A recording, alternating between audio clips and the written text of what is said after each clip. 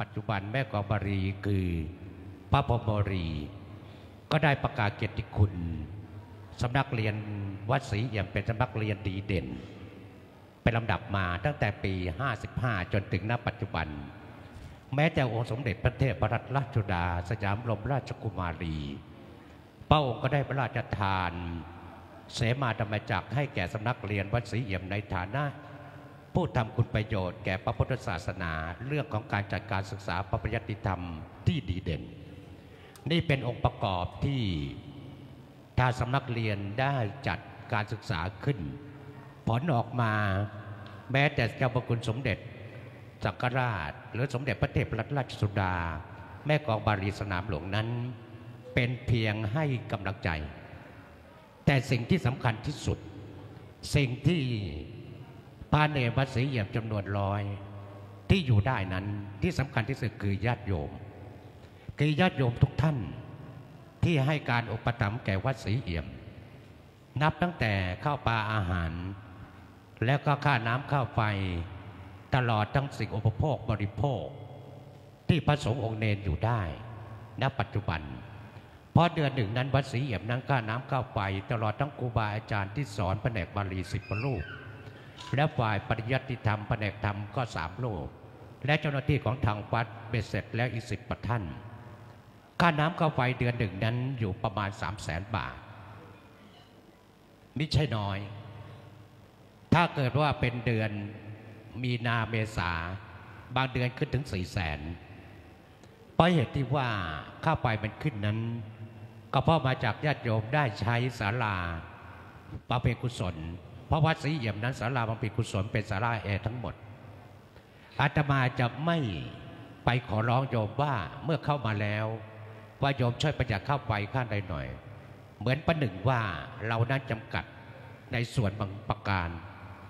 อาตมาก็คิดว่าเมื่อโยมเข้ามาแล้วมาเป็นกุศล เพื่ออุทิศให้แก่บุปการี ก็ให้เขาทำแบบเต็มที่ทำแบบให้เขาสบายใจ เราไม่ต้องไปปิดกั้นในสิ่งต่างๆ เดี๋ยวทำให้เขาหมองใจแล้วก็ไม่ดีโยมจะใช้ยังไงก็สุดแล้วแต่ และหลังจากนั้นโยมก็ได้นำปัจจัยในส่วนหนึ่งมาบำรุงวัด ตลอดทั้งพระสงฆ์องค์เนน ที่เจ็บไข้ได้ป่วยทางวัดก็มีสวัสดิการ จ่ายให้ถ้าพระสงฆ์รูปไหน สมเด็จรูปไหนไปหาหมอก็นำใบเสร็จนั้นมาขึ้นกับทางวัดทางวัดจ่ายตามความเป็นจริง และตลอดทั้งเรื่องของการศึกษา เรื่องของตลอดการศึกษาแผนกธรรมก็ดีแผนกบาลีก็ดี ทางวัดนั้นมีทุนให้ทุกๆปี นับตั้งแต่ประโยคหนึ่งถึงประโยคปทแปดที่ทางวัดได้จัดการเรียนการสอน นักธรรมก็จะการสอน ตั้งแต่นักธรรมชั้นตรีโทเอกดังนี้เป็นต้นทางวัดก็มีทุน เพื่อเป็นการเพื่อเป็นการพัฒนาศักยบุคคล ในฐานะที่เข้ามาบวชแล้ว ให้มีการศึกษา การศึกษาของคณะสงฆ์ที่แท้จริงก็คือ นักธรรมกับบาลี นักธรรมกับบาลี แต่ในส่วนของทางโลกไม่ใช่การศึกษาโดยตรงของคณะสงฆ์แต่ว่าทางวัดศรีเอี่ยมไม่ได้ปิดกั้นพระเนรที่มาอยู่วัดศรีเอี่ยม เราจะมีประโยคหนึ่ง เป็นประโยชน์ที่ต้องจำเป็นประโยคสุดท้าย เราจะอยู่ร่วมกันได้หรือไม่ได้ เมื่อคุณมาอยู่วัดศรีเอี่ยมแล้ว คุณต้องเรียน เป็นคำเดียวที่มีความหมาย คุณต้องเรียน ถ้าคุณมาแล้วจะมาอยู่วัดศรีเอี่ยม จะมาโดยเช้าบินดาบาตแล้วก็นอนแล้วก็จำวัดอะไรต่าง ๆ นี้ ทางวัดไม่ประสงค์ เราไม่ประสงค์ เราต้องการที่จะให้พระเนรเข้ามาบวชได้ศึกษาเราเรียนเรื่องของพุทธวจนะขององค์สมเด็จพระสัมมาสัมพุทธเจ้าจากนี้เป็นต้น เพื่อเป็นการพัฒนาบุคคล เมื่อเรียนบาลีระดับหนึ่งจบทั้งประโยคปตห้าทางวัดก็มีทุนการศึกษา ให้แก่พระสงฆ์องค์เนนที่จะมีความประสงค์ที่จะเรียนขั้นอุดมศึกษา ระดับปริญญาตรีปริญญาโท ระดับปริญญาตรีทางวัดก็มีทุนให้ 4 ปีทุนต่อเนื่อง ระดับปริญญาโททางวัดก็มีทุนให้ต่อเนื่อง 3 ปี ส่วนระดับปริญญาเอกนั้นค่าใช้จ่ายเป็นสูงรูปหนึ่งถ้าเรียนก็นับว่าครึ่งล้านข้อล้าน ก็เราเอาแค่นักธรรม เอาแค่ปริญญาโทมหาบัณฑิตก็เพียงพอ ณ ปัจจุบันนี้พระในวัดศรีเอี่ยมมีทุกชั้นทุกประโยคญาติโยมทุกท่าน ตั้งแต่ประโยคหนึ่งถึงประโยคเก้านับตั้งแต่ปี 50 ลงไป นับจากปี 50 ลงไปที่ทางวัดได้สร้างวัดขึ้นมา เราศึกษาแล้วของทางวัดศรีเหยียบนั้นไม่มีมหาปรริญญาแม้แต่ลูกเดียว ในฐานะที่อาตมาภาพได้รับคำสั่งจากเจ้าคณะการปกครอง โดยเจ้าในครั้งนั้นเมื่อวันที่ 8 มิถุนายน พุทธศักราช 2551อาตมาภาพ ได้มาดำรงตำแหน่งเจ้าอาวาสวัดศรีเอี่ยม ในปีนั้นในพรรษานั้นอาตมาก็พูดกับพระสงฆ์องค์เนรว่าปีหน้าผมจะการศึกษาเราไม่มีข้อยกเว้นจะพักเก่าพักแก่หรือว่าจะเป็นพระหนุ่มเนรน้อยในปีนั้น เราก็จับจัดเปลี่ยน ถ้าเรียนไม่ได้เราก็ขอเขาว่าให้ช่วยการพัฒนาวัดด้วยการดูแลกิจกรรมของทางวัด ถ้างานวัดไม่เอาที่ได้รับมอบหมาย เราก็บอกว่าอย่างนั้น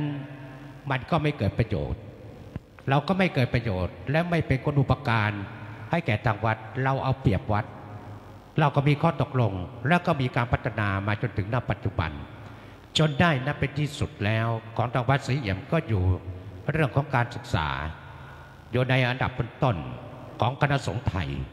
ซึ่งการศึกษาบาลีเป็นเรื่องที่จะยาก เพราะว่าวันวันหนึ่ง พระสงฆ์องค์เดครูบาอาจารย์ ที่จะจำวัด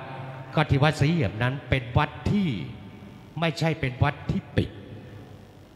ปิดตรงนี้หมายถึงอะไร บางวัดปิดคำว่าปิดตรงนี้หมายถึงว่าตอนหัวค่ำญาติโยมก็เงียบ พระสงฆ์ก็จำวัดก็เรียกวัดปิด แต่วัดศรีเอี่ยมไม่ปิด นับตั้งแต่หกโมงเช้าจนถึงเที่ยงคืน ตอนเช้าๆนี่จะมีญาติโยมที่เข้าออกเข้าออกประมาณ2,000 2,000กว่านะเพราะผู้ปกครองนักเรียนก็เกือบ2,000แล้ว และยังงานศพอีกซึ่งมีทั้งหมด8สาราด้วยกัน ก็เดาโดยค่าเฉลี่ยก็วันหนึ่งก็เกือบ3,000คน และหลังจากสองทุ่มไปแล้ว เราก็จบเรื่องของการบำเพ็ญกุศลบางคนกุศลเสร็จ พระสงฆ์องค์เดงก็ดูหนังสือถึงสี่ทุ่มห้าทุ่มแล้วก็ไปส่งน้ำส่งน้ำเสร็จประมาณเที่ยงคืนตีหนึ่งถึงจะได้จำวัด แล้วก็มีพระของทางวัดในอีกชุดหนึ่ง ในฐานะรับผิดชอบเรื่องการฝากขยะเก็บขยะมูลฝอยต่างๆ ที่ไม่ได้เรียนตีสี่เขาก็ตื่นเขาเรียกว่าวัดศรีเอี่ยมนั้น จะหลับอยู่เพียงสามชั่วโมงสามชั่วโมงของวัดนะพระเนรก็จะหมุนเวียนเปลี่ยนกันไป ตามหน้าที่ของตนของตนตรงนี้ แต่ทั้งหมดทั้งหลายแหละวัดที่จะมีการพัฒนาได้อะไรได้ มันก็ต้องเริ่มมาจากที่ญาติโยมให้การอุปถัมภ์ไม่ว่าจะเป็นเสนาสนะหรือสิ่งต่างๆ ตลอดทั้งปัจจัยทั้งหลายที่บำรุงพระสงฆ์องค์เนรทั้งหมดอาตมาเคยพูดหลายครั้งอาตมาพูดเปิดหลายหนว่าอาตมานั้นอาตมาบอกว่าขอฝากวัดศรีเอี่ยม ขอฝากพระสงฆ์องค์เนรวัดศรีเอี่ยม อยู่ในความอุปถัมภ์ของญาติโยมทุกท่าน แม้แต่ญาติโยมจะไม่มีจตุปัจจัยก็ขอให้เป็นกำลังใจ แม้แต่น้ำขวดหนึ่งข้าวสักถุงหนึ่งหรือแกงสักถุงหนึ่งถือว่าเป็นบุคคลที่มีประการรักคุณต่อวัดอยู่แล้ว เพราะเหตุที่ว่าเราได้ศึกษาเรื่องของธรรมบทเรื่องของลาทพาม ก็เล่าสักนิดหนึ่งโดยย่อ ลาทพามนั้นเป็นผู้มีศรัทธาในพระพุทธศาสนาอย่างมาก แล้วก็อยากจะบวชแต่เหตุที่ว่าอยากจะบวชนั้น ก็จะขอบวชในพระพุทธศาสนา แต่พระสงฆ์ในยุคนั้นก็มีความรังเกียจแก่รัฐพามพระพุทธเจ้าก็ถามพระสงฆ์ว่าใครที่มีความประสงค์ที่จะบวชรัฐพามก็มีสารีบุตรยกมือขึ้น ว่าได้นึกถึงราฐพามด้วยเหตุผลเราก็คิดไม่ถึง ด้วยเหตุผลที่ว่าสารีบุตรนั้นบอกว่าได้ลำลึกนึกถึงราฐพามในฐานะเป็นผู้แก่ พระเจ้าก็ถามว่านึกถึงอะไร มีอยู่ครั้งหนึ่ง ที่สารีบุตรได้บิณฑบาตราฐพามนะมีศรัทธาในพุทธศาสาใส่ข้าวทัพพีหนึ่งแก่สารีบุตรก็ได้กราบทูลพระพุทธเจ้า เช่นนี้ บอกว่าราฐพามนั้นเป็นผู้มีบุญคุณ ต่อข้าพระพุทธเจ้า พระพุทธเจ้าก็มอบหมายให้สารดุษนั้นเป็นอุปชา ถือว่าเป็นผู้ยอดกตัญญูในครั้งนั้น ซึ่งเราจะเห็นได้ในพุทธประวัติที่เราเรียนในธรรมบทนั้น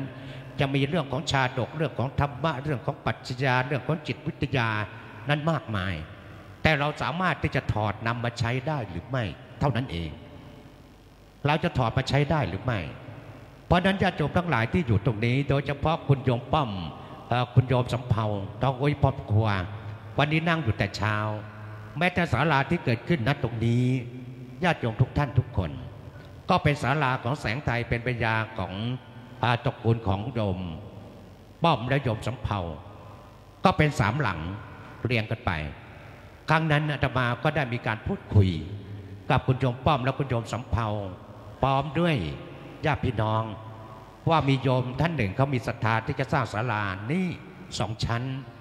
การนี้ศาลาอันนี้มันมีมีทางสูงๆต่ำๆมันไม่ได้นันนาบเดียวกันโยมป้อมก็บอกไม่เป็นไร ผมไม่ได้ติดใจอยู่แล้วก็มาสร้างความเจริญ ให้แก่ทางวัด เขาไม่ติดใจยอมป้อมนะโยมผู้ชายบอกว่าผมไม่ได้ติดใจอะไร ก็มาสร้างความเจริญให้แก่ทางวัด ก็อนุโมทนาเขาด้วย ถือว่าเป็นบุคคลที่ไม่ยึดมั่น ในสิ่งที่ได้กระทำไป ถือว่าอันไหนที่มันเกื้อกูลเป็นประโยชน์ ก่พระพุทธศาสนากิจกรรมของทางวัด เพราะนั้นขอให้ญาติโยมทั้งหลายนั้นได้สาธุกับกับครัวทองอุยอ่าซึ่งมีคุณโยมป้อมและคุณโยมสำเภาพร้อมกันอีกครั้งหนึ่งที่เราใช้สถานที่ตรงนี้ สาธุ สาธุ สาธุคือตอนแรกอาตมาก็การพูดคุยครั้งแรก จะเริ่มต้นอย่างไร แต่ว่าเมื่อโยมตอบอย่างนี้อาตมาก็สบายใจ และศาลาที่แห่งนี้ที่เกิดขึ้น ก็มาจากครอบครัววิทูรปกรณ์ครอบครัววิทูรปกรณ์ความจริงแล้วคืออากงอายุ 90กว่าก็คุยกับอาตมาเอง เขาก็บอกว่าท่านเจ้าวักเจ้าว่าอ้วนเนี่ยจะสร้างศาลาสักหลังหนึ่ง ตอนนั้นเขาเอาภรรยาเขามามาตั้งศาลา 12 ข้างเมน อันนั้นกว้าง10เมตร ยาว31เมตร เขาบอกว่าอย่างน้อยๆอย่างน้อยๆให้เท่าหลังนี้ หรือใหญ่กว่านี้ว่าก็เอาอาตมาก็เลยก็พูดเล่นหรือพูดอะไรนะฮะก็ก็ได้คุยกันอยู่ระยะหนึ่งเสร็จงานเขาก็มาคุย แล้วก็ตกลงอากงอายุ 90กว่า แต่แข็งแรงมากขึ้นชั้นสองนี่ปิ้วเลยเลยนะแต่ลูกๆหลานๆเขามีเกือบสิบคนเป็นเจ้าของบริษัท พวกเกมีอยู่ต่างๆประเทศญี่ปุ่นจีนทั้งอะไรทั้งหมดแล้วก็มีการสร้างเขาได้บริจาคเงินทั้งหมด หลังนี้เป็นจำนวน 35 ล้าน5แสนบาท เราได้ใช้สอยตรงนี้เราก็แผ่บุญกุศลไปให้ครอบครัววิทุปกรณ์ ให้เขามีความเจริญนะให้มีความเจริญในกิจการต่างๆ ตรงนี้จึงสำเร็จรุ่ล่วงมาและทำพิธีถวายเมื่อเดือนมิถุนายนที่ผ่านมานี่เอง แต่ว่าค่าใช้จ่ายทั้งหมด ส่วนหนึ่ง ทางวัดได้ทำห้องน้ำได้ตกแต่งบิวอะไรขึ้นมาส่วนหนึ่ง ก็ได้สมทบไปอีกล้านแปดแสนบาท ตรงนี้ลืมไปทำงานไปทำงานมาในศาลามลืมห้องน้ำเออเออก็ยุ่งสิคนนี้ เลยทางวัดต้องไปสร้างห้องน้ำไม่กล้าบอกเขา ไม่กล้า เพราะว่าก็ให้มาแล้ว 35 ล้าน5แสนบาท และที่หน้าเมนตรงนั้นคุณตดินเจวนนท์และคุณหญิงเทปีเจวนนท์ก็ได้สร้าง ที่ศาลาหน้าเมนก็แจ้งให้ทราบว่า 11 ล้าน5แสนบาท และข้างในคณะสัตยาสาธุชน ได้ร่วมกับบริจาคสิบล้าน ตอนนั้นเราทำงานทีเดียวสามบริษัทลวด แต่เสร็จพร้อมกันอาตมาก็ตอนนั้นไม่รับงานข้างนอกไม่รับงานอะไรทั้งหมดประมาณสองปี เพื่อดูงานโดยทางวัด เพื่อต้องการให้คุณงานให้งานออกมาเป็นคุณภาพที่ดีที่สุด ที่เม็ดเงินโยมก็ขอมา คราวนี้ญาติโยมทั้งหลายจะถามว่าแล้วก็เงินที่ญาติโยมเขาบริจาคมาเจ้าวาดรับหรือไม่ไม่ใช่อาตมาจะมีอุดมคติหรือมีอุดมการของอาตมาอย่างหนึ่ง สิ่งไหนก็ได้เที่ยวโยมก็ภาวนา เราเชื่อใจในสิ่งซึ่งกันและกัน แต่สัญญาอาตมาก็เป็นผู้เซ็นเขาก็เป็นผู้เซ็นแล้วมีพยานทั้งบริษัท แล้วเวลาเขามีการจ่ายค่างวดอาตมาก็เซ็นผ่าน เขาไปเบิกเงินกันเอง แต่อาตมาจะคุมเรื่องของงบประมาณในการก่อสร้างคนนายเมโมทนาถ้างบ 30 ล้านอาตมาก็จะไม่ออกไปแล้วไม่เกิน 30 ล้าน ก็ถือว่ายุติ ตรงนี้อาตมาจะไม่หยิบเรื่องของการเงิน จะไม่หยิบให้โยมก็ทำแบบสบายใจ แต่ผู้วัดอื่นญาติโยมอาจจะเห็นนะสมภารบอกโอ้ยโยมต้องเอาเงินมาก่อนไม่เอาอะไรอย่างนี้อาตมาไม่อาตมามีความเนื้อเชื่อใจคนโยม ถ้าโยมจะหลอก ก็ไม่เป็นไร เป็นกรรมของอาตมาแล้วกันเดี๋ยวก็เหน็ดเหนื่อยขึ้นไป แต่ว่าโชคดีไม่มีคนหลอก เราเจอคนดีที่มีความตั้งใจในพระพุทธศาสนา ในครั้งนี้นี่เป็นการเล่าสู่กันฟังและอีกประการหนึ่งของวัดศรีเอี่ยมนั้น จะจัดงานในวันที่ 7 ตุลาคม ซึ่งเป็นการมาเป็นกุศลให้แม่ขาบออกเอี่ยมอาตมานั้นไม่ได้นึกถึงณปัจจุบันอาตมาไม่ได้นึกถึงอนาคต อาตมานึกถึงอดีต อดีตนั้นเป็นตัวชี้ให้เราเดินมาทำไมถึงแบบนั้น เพราะถ้าไม่มีแม่ขาบองเอี่ยม ถวายที่ดินสร้างวัดหกไร่สามงาน 88 ตารางวา ในการสร้างวัด ถามว่าณปัจจุบันอาตมา และญาติโยมและพระสงฆ์องค์เด่นทั้งหมด สามารถมายืนตรงนี้ได้ไหมวัดศรีเอี่ยมจะเกิดขึ้นได้ไหม ไม่ได้ เพราะนั้นถือว่าเป็นปฐมฤกษ์ ที่แม่ขาบองเอี่ยม ได้ถวายที่ดินสร้างวัดให้แก่วัดศรีเอี่ยม และตอนนั้นก็มีผู้สืบสารต่อ ซึ่งมีพระอาจารย์หลุยมีพระอาจารย์ส่งมีพระอธิการประเสริฐ แล้วก็อดีตเจ้าวาดมาตามลำดับ ตลอดทั้งผู้มีประการรับคุณต่อวัดทุก ๆ ท่าน ที่ได้ร่วมด้วยช่วยกัน จนถึงนับปัจจุบันอาตมาจะนึกถึงอดีตอาตมาจะไม่นึกถึงนับปัจจุบัน ปัจจุบันนั้นเราทำให้ดีที่สุด เราอย่าสำคัญตัวเองว่าที่เราทำไปนั้น เราทำดีกว่าคนอื่น ไม่ใช่ ไม่ใช่ อดีตก็ทำดี อดีตน่ะก็ทำดีอยู่แล้ว แต่เราต้องการที่จะมาพัฒนาให้มันดีขึ้นมันดีขึ้น มันต่างยุคต่างรัชสมัย เราก็ไม่ได้ทำเพื่อตัวเรา เราก็ไม่ได้ทำเพื่อใคร เราทำเพื่อพระพุทธศาสนา และเพื่ออำนวยความสะดวกสรุปแล้ว ญาติโยมกับพระนั้นไมีอะไรต้องคุยกัน ไมีอะไรต้องเปิดกันด้วยความจริงใจ เราอย่าทำอะไรต่อมีอะไรที่เราคิดว่าเรานั้นมีความสามารถมีความศักยภาพ แต่อาตมาไม่ใช่เป็นมีความเป็นผู้มีความสามารถ แต่อาตมามีความจริงใจ เพราะอาตมาน่าจะตั้ง consult ที่ปรึกษาของอาตมา ไม่ว่าจะเป็นวิศวะไม่ว่าจะเป็นนิติกร หรือว่าจะเป็นพวก อะไรก็แล้วแต่อามาจะตั้งไว้ ตรงไหนควรศึกษากับใคร คนไหนที่เราควรจะปรึกษาอาตเราเองนั้นไม่สามารถที่จะอย่างรู้บางสิ่งบางประการได้ เราก็ตั้งที่ปรึกษาหรือคอนซัลไว้ให้เรานั้นได้ดำเนินกิจกรรมตรงนั้น ให้มันง่ายขึ้น ตรงนั้นเอง เพราะนั้นญาติโยมในวันที่ 7 มิถุนาก็ขอเชื้อเชิญเจริญพรญาติโยมทุกท่าน มาฟังพระสงฆ์สวดพุทธมนต์และถวายพระทหารเพล300รูป โดยมีเจ้าพระคุณสมเด็จ พระพุทธาจารย์ วัดไตรมิตรวิทยาราม เจ้าพระคุณสมเด็จพระพุทธชินวงศ์วัดพิยญาติการาม และก็มหาเถระอีก 20 รูป สวดพระพุทธมนต์เพื่ออุทิศให้แก่ผู้ที่วายชน ซึ่งมีคุณแม่ขาเป็นต้น และปฏิการประเสริฐ และศพทุกศพที่เผาที่วัดศรีเอี่ยมญาติโยมเขาก็เคยถามอาตมาย้อนมาอีกสักนิดหนึ่ง พราะว่าท่านเจ้าคุณเอาไปทำศพให้ชาวบ้านก็ทำไม เพื่ออะไรอาตมาก็บอกว่าที่เราทำบุญอุทิศให้นั้น เพื่อเป็นการทำบุญอุทิศ ให้แก่ในฐานะที่เขามาเผาที่วัดศรีเอี่ยม ก็ด้วยเหตุผลบางประการ เพราะเราเชื่อหรือไม่เชื่อ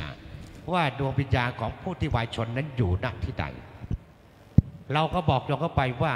แล้วศพทุกศพที่เผาโยมคิดไม่หรือไม่ ว่าญาติของเขานั้นจะทำให้หรือเปล่า หรือคนที่มีฐานะการเงินดีอยู่แล้ว เขามีเวลาที่จะทำบุญใส่บาตรอุทิศไปให้แก่ผู้ไหวชนหรือไม่อาตมาก็เป็นการทำบุญอุทิศใหญ่ ให้แก่ดวงวิญญาณทุกศพ และในขณะที่อาตมาทำพิธีไม่ได้เป็นการบวงสรวง แต่จุดธูปบอกให้มารับเครื่องสังเวยจะเป็นชุดใหญ่ประมาณราคาสี่ห้าหมื่นบาท ปีหนึ่งครั้งหนึ่ง เมื่อเสร็จแล้วของทุกสิ่งทุกอย่างเที่ยงแล้ว เราจะสั่งอยู่ที่ว่าก่อนเที่ยงอย่าพึ่งให้ หลังจากเที่ยงแล้วใครจะรับของนี้ไปไม่เป็นไร ห้ามนำมาเข้ากุฏิผมเป็นอันขาดทำมาเมื่อเราให้เขาแล้วก็ให้ตลอดแล้วก็ทำทานไป เมื่อเขาบอกเขาไปเราก็อธิษฐานไปบอกว่าได้รับเครื่องสังเวยแล้วก็ช่วยกันดูแลวัดปกป้องพระสงฆ์องค์เดนมีการพัฒนาอะไรต่ออะไรเราก็ขอ มื่อเราให้แล้วเราก็ขอกันบ้างไม่เอาเปรียบกันจะไม่ช่วยกันดูแลวัดนะเราก็บอกเขา แต่เขาจะทำหรือไม่ทำก็ไม่รู้ แต่เรามีความเชื่อว่าส่วนหนึ่ง เราทำแล้วให้ญาติเขานั้นสบายใจตรงนั้น เราก็เป็นการอุทิศให้ในส่วนนี้ นี่จะเป็นการเล่าสู่กันฟัง แล้ววันนั้นก็จะมีการถวายพระทหารเพลแก่พระสงฆ์องค์เนนสามร้อยรูปด้วยกัน นั้นญาติโยมก็มาฟังพระ หรือจะออกโรงทานอีกก็ได้ แต่โรงทานวันนี้ก็เยอะมากก็ต้องขออนุโมทนาขอบคุณ อนุโมทนาแก่คณะญาติโยมทุกท่านทุกคน หน้าที่นี้และหรือที่กลับไปแล้วอาตมาภาพในฐานะที่เป็นเจ้าอาวาสตลอดทั้งพระสงฆ์องค์เนนอ่าทุกรูปก็ต้องขออนุโมทนาขอบคุณญาติโยมทุกท่าน และเราคิดว่าในโอกาสต่อไปทางวัดมีงานใด ๆ ก็แล้วแต่ญาติโยมนั้นคงไม่ทิ้งวัดศรีเอี่ยม แล้วก็ไม่ทิ้งพระสงฆ์องค์เนนและขอฝากพระสงฆ์และสามเณรวัดศรีเอี่ยม ฝากวัดศรีเอี่ยม อยู่ในความอุปถัมภ์แก่คณะญาติโยมทุกท่าน ถึงแม้ว่าโยมไม่มีปัจจัยไม่เป็นไร แต่อย่างน้อยเราก็มีใจหรือช่วยเป็นหูเป็นตาให้แก่ทางวัด อันนั้นเราพึงปรารถนามากกว่า ที่ญาติโยมได้ช่วยกันดูแล ส่วนของตัวอาตมาญาติโยมไม่ต้องดูแล อาตมาดูแลตัวเองได้ ไปโรงพยาบาลมาดอนหนึ่งคืนพระสงฆ์ยังไม่รู้เลย อาตมาไม่ชอบ ใครมาจุกจิกจุกจิกหลวงพ่อเป็นยังไงเจ้าคุณเป็นยังไงอะไรยังไง เรามันเราก็เราพูดให้ฟัง จะมายุ่งอะไรก็กูวะไอ้ห่าเอ้ยจะมายุ่งชีวิตอะไรของเราเนี่ยนะเจ็บไข้ได้ป่วยก็ไปหาหมอสิไปนอนนะแต่ไปนอนโรงพยาบาลที่ไทยนครินทร์ยอมที่ไปไม่ใช่ไปหรอกไม่ได้ป่วยหรอกยอมให้ไปตรวจ มีนายแพทย์เจริญมินสุขถ้าเขาพูดอยู่สามสี่ปีตะกี้เห็นคุณสริพรกลับไปยังหัวหน้าพยาบาลกลับไปยังเห็นแวบๆๆอยู่เจ้าคุณเมื่อไหร่จะไปตรวจที่ที่อายุห้าสิบบาแล้วบอกเดี๋ยวสามปีก็แล้วสี่ปีก็แล้วไปตรวจ ไปตรวจนะไปตรวจไปยอมเห็นใบเสร็จเขาเท่าไหร่รู้ไหมไก่เนี่ยดอกไปรู้ไก่รู้ได้ไงไปเข้าไปโน่นน่ะโรงพยาบาลไทยนครินเลยนะสาไม่บอกใครแล้วไก่ก็ไป หมดไปเกือบแปดหมื่นอาตมาไม่ได้จ่ายนะ ทางโรงพยาบาลก็จ่าย ไม่เกี่ยวก็เอาเราไปเองเชื้อเชิญเราอีกเราไม่มีตังค์นี่นะทางโรงพยาบาลเขาจ่ายการดำเนินการยังไงก็เรื่องของเขากันนี่ก็ต้องอนุโมทนา แต่ว่าผลออกมาก็ไม่มีอะไรโยมสบายใจได้ แต่คุณหมอเขาก็บอกว่า หลวงพ่อน้ำตาลชักเริ่มแล้วนะน้ำตาลชักเริ่มแล้วนะ อ่าให้ระวังระวังหน่อยนะน้ำตาลส่วนอื่นไม่เป็นไรโยมนะมีอย่างเดียวถึงวันตาย รู้เมื่อไรก็ขอดอกไม้จันทร์คนละดอกก็เพียงพอนะเท่านั้นแหละชีวิตมันก็สิ้นสุดกันตรงนั้นเอง แล้วก็ขออนุโมทนาแก่คณะญาติโยมทุกท่านท้ายที่สุดนี้อาตมาภาพก็ไม่มีอะไรที่จะปฏิกิริยตอบญาติโยมทุกท่านทุกคน ก็ขออ้างอิงคุณพระศรีพระรัตนตรัยและสิ่งศักดิ์สิทธิ์ทั้งหลาย ซึ่งมีหลวงพ่อพระประธาน และสิ่งศักดิ์สิทธิ์ที่วัดศรีเอี่ยม และดวงวิญญาณ ทุกดวงที่วัดศรีเอี่ยม จงบันดาลให้ญาติโยมทั้งหลายจงมีแต่ความสุขความเจริญ จะนึกจะคิดอะไรก็ขอให้สมมุติมากปรารถนา ที่ไม่ปิดตำนองของธรรม และสิทธิธรรมและไซและขอให้มีสุขภาพแข็งแกร่งกันทุกขั้นทุกคนเทินวันนี้ทุกคน เป็นเจ้าภาพ เดี๋ยวเข้ามาถวายเครื่องทายธรรมกันนะแถวนี้ไปอาจารย์สมเกียรติมี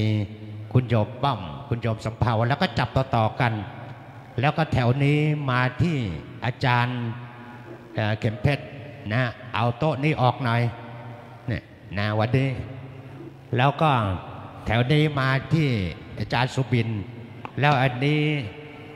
มาที่พระเฉลา เอาขอซิปอีกนิดหนึ่งโยมอ่าเดี๋ยวซิปนิดหนึ่งอีกแป๊บเดียว โดยเฉพาะในวันนี้ที่มีตากล้องอยู่สามสี่กล้องซึ่งมีพระเฉลาเกยก็เรียกว่าเฉลาพ่อโตแต่กลับมาบวชเขาจะที่เขาบันทึกนี้เขาจะไปตัดต่อแล้วก็ลงใน YouTube จะลงได้เมื่อไหร่ ประมาณอาโยมก็ไปเปิดดูนะเขาว่าประมาณอาทิตย์หนึ่งเขาไปตัดต่อ ลงใน YouTube นะลงใน YouTube อ่าอ่าไม่เป็นไรอ่ายมยมป้อมเข้ามาแล้วไกลนะไปตรงนู้นนะ เดี๋ยวเอาทีละแถวก่อนนะ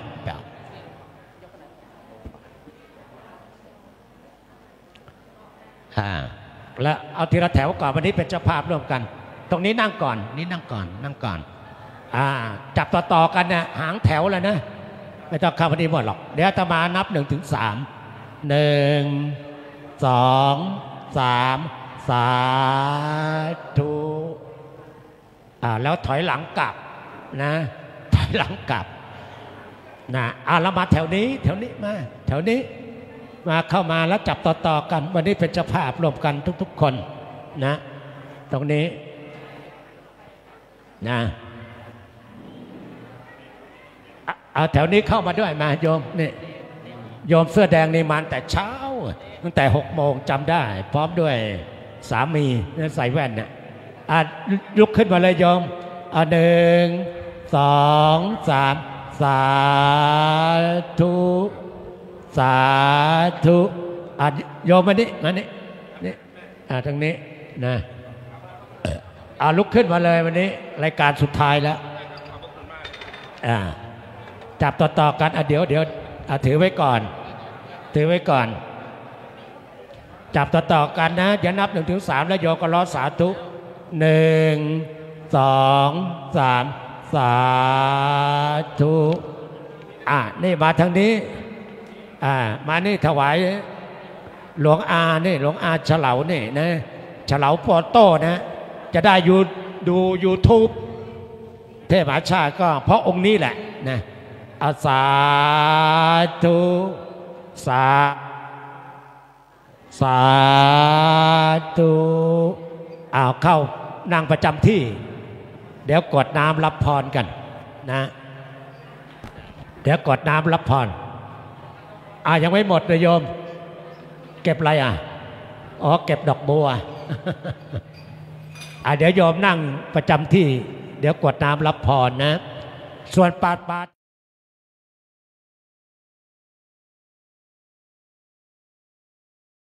ใช่ไหมไม่อ๋อ อันนี้เราทำเองหรือว่า ซื้อแล้วหรือลูกอ๋อ อันไหนที่ อันไหนที่เราต้องทำเองลูกส่วนไหน อย่างเงินอย่างเงี้ย เงินเราทำเองหรือว่าซื้อละซื้อแล้วหรือลูกอย่างนี้เราทำไมเงินเราเยอะเขานะหรือขึ้นอยู่ว่า อันไหนแพงกว่ากันเนี่ยสามสี่ทุ่ม อันนี้แพงไหมลูกเดี๋ยว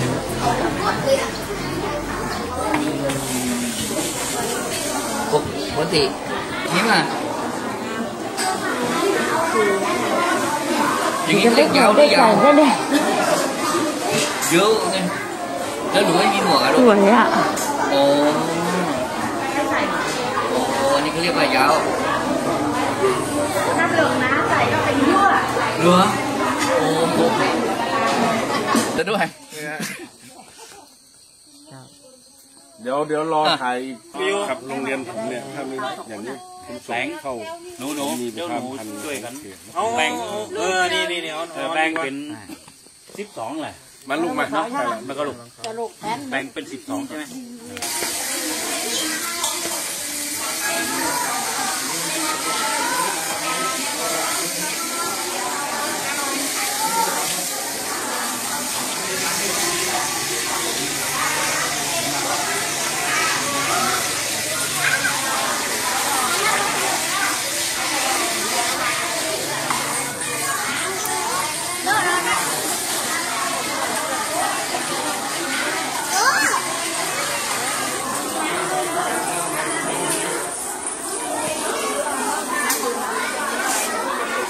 หนูหนูไปก่อนเดี๋ยวแจกใหม่ลูกเดี๋ยวเออเออเออเออต้องการดึงดึงกิจกรรมนะหนูเอาน้ำขึ้น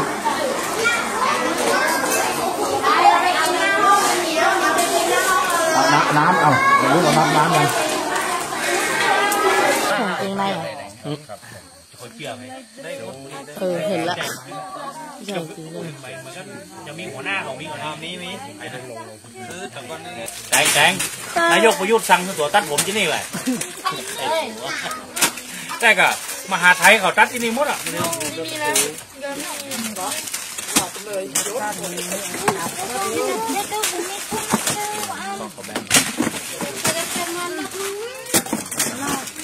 เอาปะโต้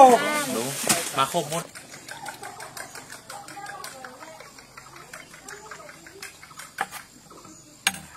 นี่พี่กูกูไอโรงแรมนครไอโรงแรมเพชรนั่นเนี่ยเพชรโฮเทลนะแน่กูโรงแรมเพชรสามปีไปอยู่เมืองการอีกสามปีอยู่กรุงเทพอีกอะเขาเป็นเขาเป็นเขาเป็นเชฟเนี่ยอะว่าจริงๆพูดเรื่องจริงนะเนี่ยนั่นแล้วบวชกันไปอยู่ร้อยเอ็ดบอกผมว่าเป็นทหารอยู่ชายแดนอยู่ที่ไอ้ภาคใต้นี่มัน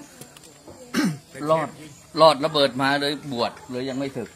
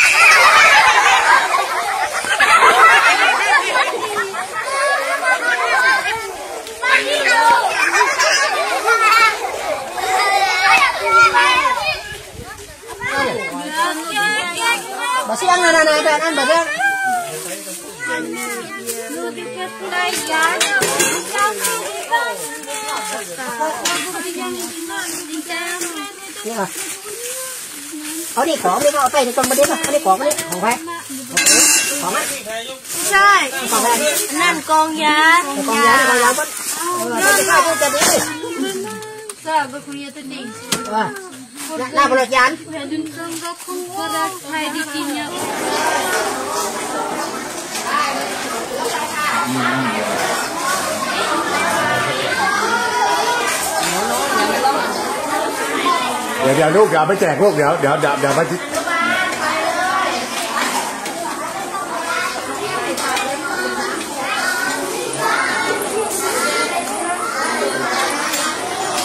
เดี๋ยวต้องดึงให้หนู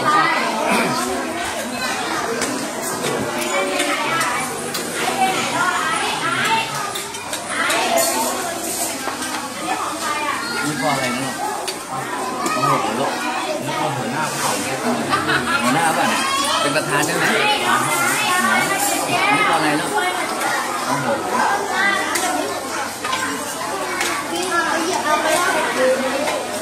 นี่มีหมวกอันนี้สวยเนี่ย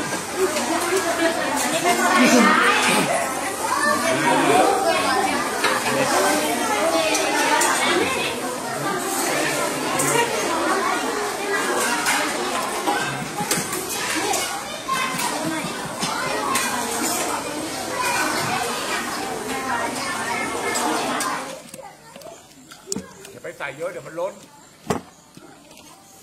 หลาม นี่หลามอะ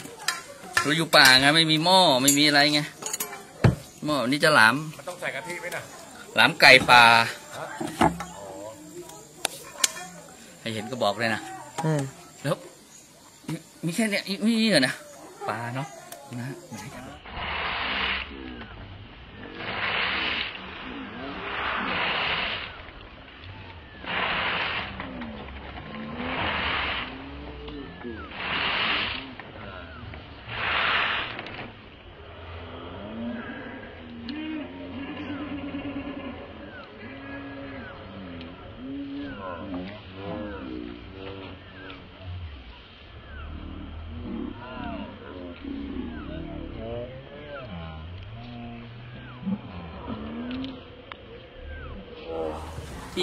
ดีหน่อยวอยหน่อยก็ไปอยู่อีกห้องหนึ่งส่วนอันนี้ก็นิช้าก็ผมรับผิดชอบพอดีประสบการณ์ก็คือนานกว่าพอดีน้องมาใหม่บรรจุก็ให้น้องที่เด็กพออ่านออกเป็นได้อันนี้ก็คือไม่ได้เลยก็ ตอนนี้ก็ได้ละค่อยเหลืออีกประมาณสักสองสามคนที่ไม่ได้เลยอันนี้เพราะว่าที่สองสามคนที่ไม่ได้ก็คือว่าก็เป็นลักษณะเหมือนเรียนนอก อาจจะๆค่อยๆไปถ้าผมเป็นลักษณะเหมือนห้องห้องแถวเป็นก็คือพูดจาอะไรรู้เรื่องแต่ไม่เอาอะไรเขียนเลย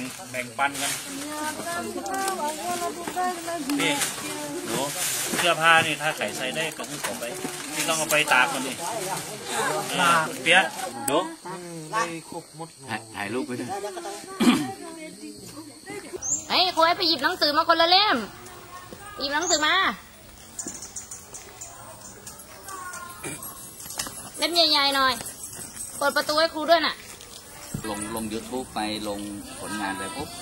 คนทั่วโลกเขาจะดูอยู่ ดูตัวเนี้ยเปิดราคามาเป็นบุญของโรงเรียน แล้วก็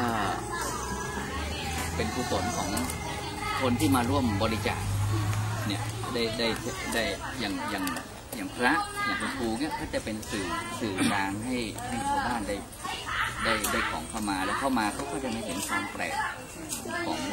ของหมู่บ้านของชาวเขาเนาะนะ มีโอกาสชื่อเฟซว่าอะไรอะอ่าฉลาวเมืองเหลือเหมือนชื่อคืออ่า YouTube ก็ YouTube มันจะง่ายนิดนึงถ้าพิมพ์เฉลาโฟโต้ปุ๊บเนี่ยตามชื่อโรงเรียนเลยจะเจอเลยนั่นแหละก็เดี๋ยวคอยคอยมีชื่อโรงเรียนเราด้วยไง โรงเรียนอ๋อเดี๋ยวจะแอดเพื่อนไปได้ไ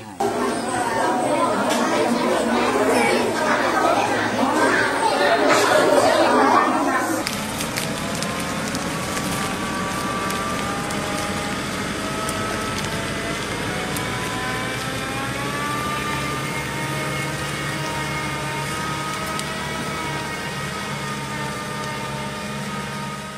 นะครับสวัสดีครับอ่าผมอ่าสมมิ่งเมืองร้องนะครับสารวัตรกำนันตำตำบลเสียบครับอ่าแล้วนี่คือเจ้าของพื้นที่โดยตรงนะครับ คือท่านผู้ใหญ่อนันต์ปกแก้วนะครับ แล้วนี่คือท่านผอมานพบุญทนบุญทนนะครับ เป็นผอโรงเรียนท่าวะครับ แล้วนี้เปรียบเสมือนที่ปรึกษา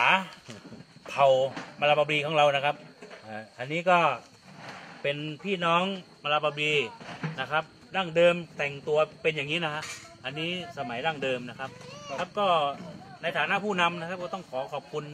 ทีมงานของพระอาจารย์นะครับ เป็นอย่างสูงนะครับที่เอ่อครั้งหนึ่งพระอาจารย์เคยมาแล้วในพื้นที่ ก็เผอิญว่าพระอาจารย์มาศึกษาดูความเป็นอยู่ของพี่น้องเอ่อที่บ้านเราเรียกว่าตองเหลืองนะครับ หรือมาลาบาบีเนี่ยก็เกิดความเมตตานะครับ ก็เลยมาอีกเป็นรอบสองอ่าในในฐานะผู้นำก็ต้องขอขอบคุณนะครับ คือการเป็นอยู่ก็อย่างเท่าที่เห็นนะครับว่าพี่น้องเราถ้าพูดถึงแล้วถ้าเราคิดถึงหลักธรรมะเนี่ย ก็พี่น้องเราไม่ได้มีการแก่งแย่งนะฮะคือมีแต่เมตตาเหมือนดังที่พระอาจารย์เห็นนะครั้งแรกแล้วก็ครั้งนี้ที่เป็นครั้งที่สองพระอาจารย์ได้เอาสิ่งของความจำเป็นที่ใช้อุปโภคบริโภค ดูแล้วพวกน้องๆพี่ๆของเขาเนี่ย เขาจะแบ่งปันนะครับเท่า ๆกันเลยนะครับ คือคือเขาไม่ได้ว่า เออ คนนี้ได้เยอะคนนี้เนี่ยเขาไม่เกี่ยงนะฮะคือเขาเขาแบ่งกันให้เท่า ๆกัน เหมือนกับที่ที่ความเดิมคราวที่แล้วที่มาที่ผมได้คุยให้พระอาจารย์ฟังทีหนึ่งว่าเขาได้สมมติเขาไปล่าสัตว์เนี่ยนะครับเขายกตัวอย่างว่าเขาไปได้สัตว์มาตัวหนึ่งเนี่ยเขาอยู่ด้วยกันประมาณ 12 ครอบครัวเขาก็จะแบ่งเป็น 12 12 12 ส่วน 12 หุ้นเลยพูดง่ายๆให้เข้าใจอะคือแบ่งแบ่งกันให้เท่ากันหมด นะครับ แล้วก็เขาไม่ได้มักใหญ่ไฟสูง หมายถึงว่าขอให้มีกินไปเป็นวันๆแล้วก็มีชีวิตอยู่ไป เขาไม่ได้ไปแย่งชิงอะไรกันเหมือนกับพื้นราบเรานะครับ โดยเฉพาะพี่น้องเผ่าบราบาบีนี่แหละ ผมยอมรับนะครับ ตรงนี้เนี่ยคือคือมันก็มีความสุขอย่างหนึ่งนะครับ ผมว่าเพราะว่าแต่เขาก็รักกันนะครับ สามัคคีปองดองกัน เขาไม่ได้ไปต้องไป ทะเลาะวิวาทอะไรไม่มีนะครับ โดยเฉพาะไม่เชื่อก็ลองถามผู้นำดูนะฮะเอ่อท่านผู้ใหญ่เนี่ยก็ถือว่าเป็นลูกน้องหรือเป็นลูกบ้านลูกบ้านของท่านผู้ใหญ่อนันต์ปอกแก้วนะครับเอ่อหมู่แปดตำบลเสียบนะครับนะครับ แล้วก็อีกอย่างหนึ่งนะครับเอ่อในนามของผู้นำเนี่ย ผมหวังใจอย่างยิ่งว่า อยากให้พระอาจารย์เข้ามาเยี่ยมเยือนเขาอีกสักครั้งนะครับถ้ามาอีกครั้งหนึ่งน่าจะมาเป็นทีม เยอะๆกว่านี้นะครับนะเออไม่ใช่โดดเดี่ยวนะครับเออต้องต้องต้องขอขอบคุณมากๆนะครับครับผมครับก็ขอขอบพระคุณพระอาจารย์เป็นอย่างสูงนะครับ ที่วันนี้ที่ได้มองเห็นความสำคัญของชนเผ่าราบดีหรือตองเหลืองของของเรานะครับอ่าชนเผ่าตองเหลืองของเราเนี่ยอย่างนี้อยู่ในโรงเรียนบ้านทวะราชบำรุง ตำบลเสวียบอำเภอสองเนี่ยมีเข้า 9 คนครับอยู่ในโรงเรียนระดับประถมศึกษานะครับ แล้วเราก็ดูแลเป็นอย่างดีในเรื่องอหลับนอนนะครับ เวลาตั้งแต่วันจันทร์ถึงวันศุกร์เราก็จะให้พักพักนอนที่โรงเรียน แล้วก็ในช่วงเสาร์อาทิตย์ก็จะให้กลับกลับมาบ้านที่ตรงเนี้ยแห่งเนี้ยเพื่อมาช่วยเหลือผู้ปกครอง ส่วนการดูแลในเรื่องการศึกษา เราพยายามส่งเสริมให้เด็กเขาได้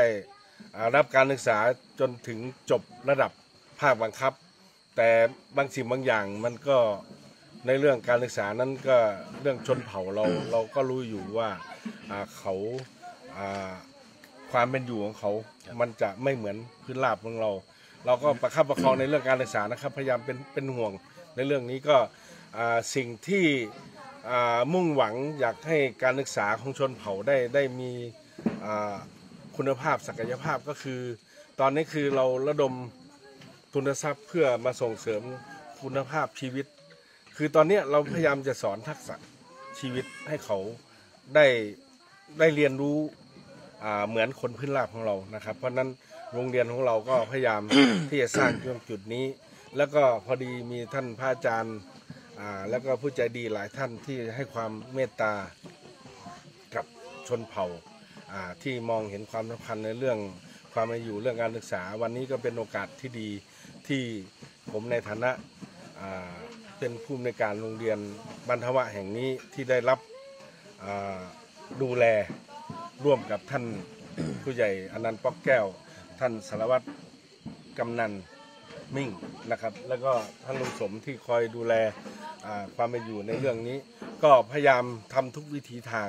เพื่อที่จะส่งเสริมคุณภาพชีวิตของ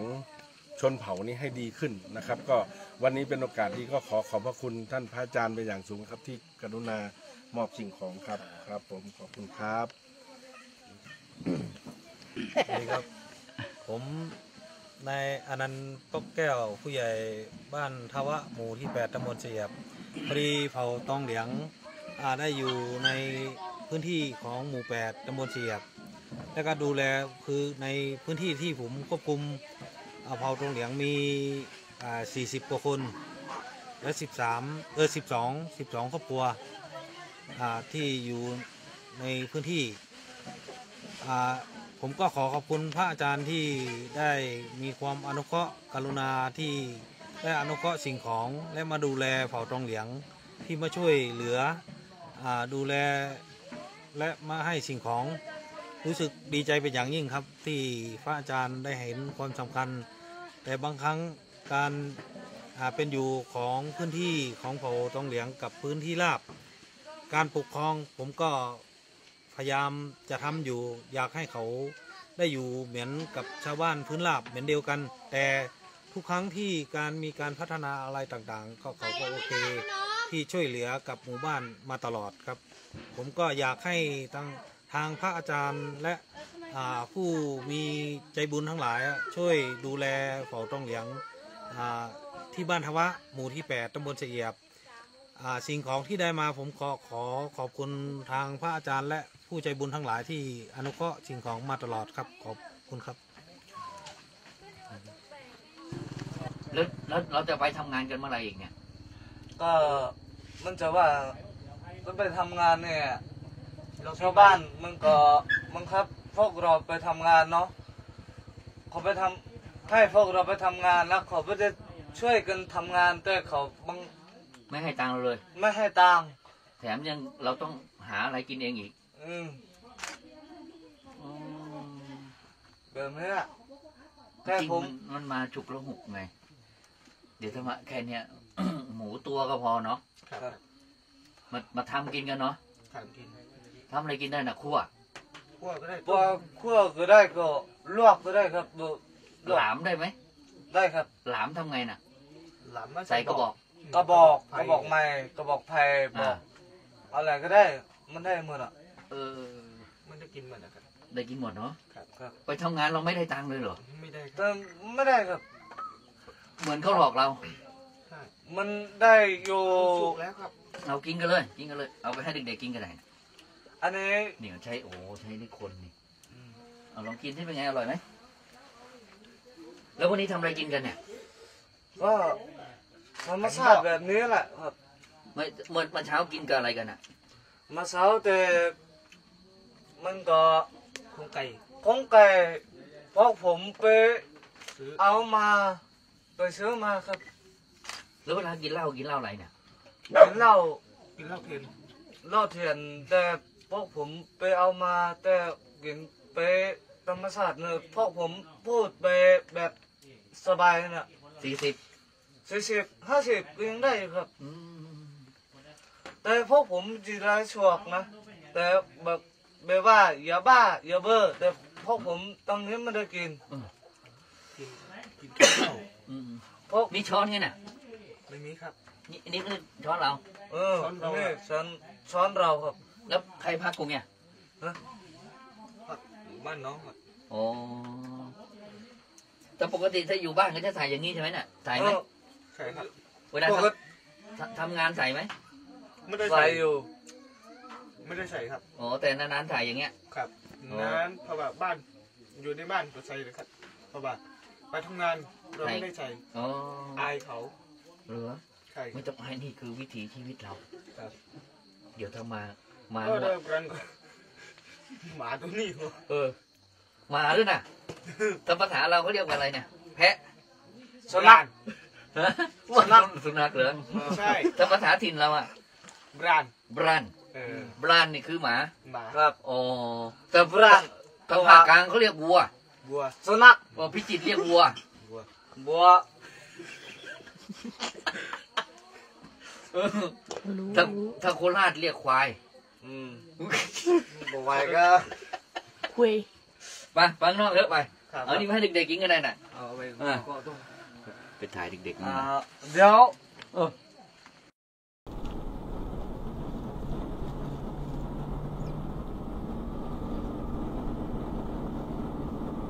อันนี้ที่ เราเราอยู่ในภายเอ่อเผ่าเผ่าอะไรนะเผ่ากันเดียเออชื่ออีกอย่างนึงเรียกอะไรนะเอ่อปากกะยอนาปา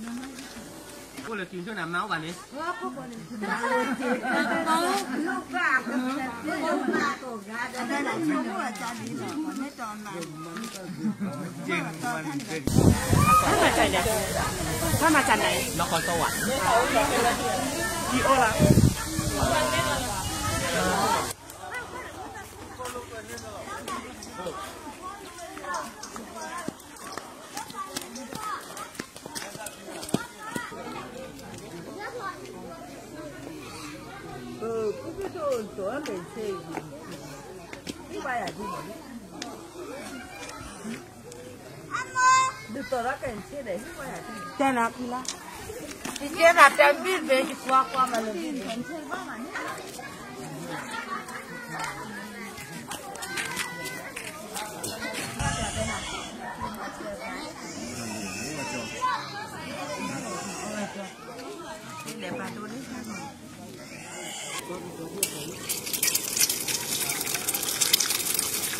ี่เขาไม่ใช่ไข่ใหม่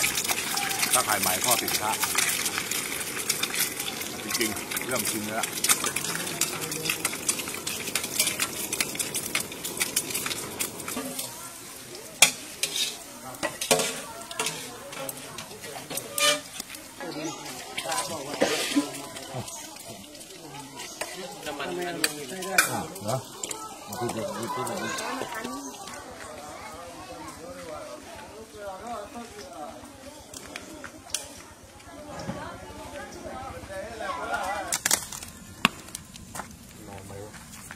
อ้มันน้ำมันก็ย้อยออกหมดแล้วพี่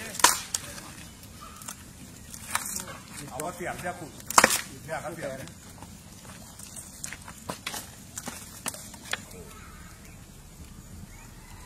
ทะเล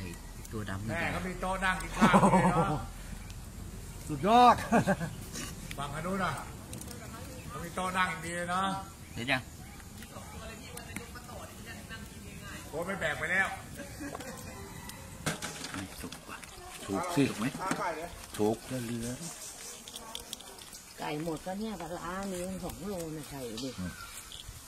ถูกไหมถูกมันเหมือนไม่สุกข้างในยังวะรู้ยังยังยังกูก็บอกนู้นไม่ได้เลยยังยังยังยังนี่มันเข้ามายังยังเอาสักทีนะมันมันก็บอกมันหนาไงก็บอกมันนะกลัวมันไหม้ด้วย ต้องให้แห้ง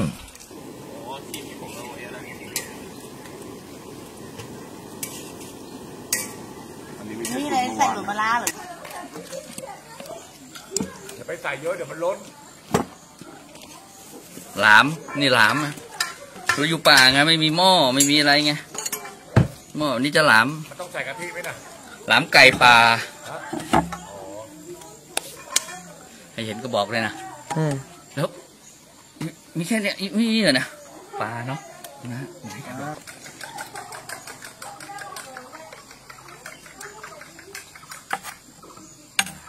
นี่พี่ กูกูไอโรงแรมนครไอโรงแรมเพชรนั่นเนี่ยเพชรโฮเทลน่ะ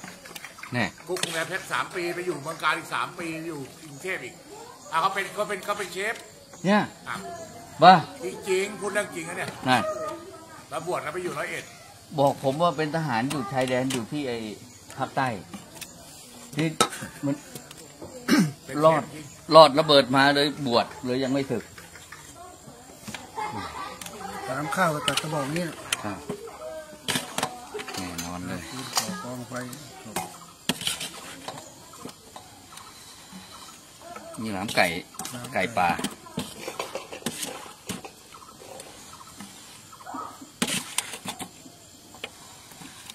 นึกว่านิวหลับไปแล้ว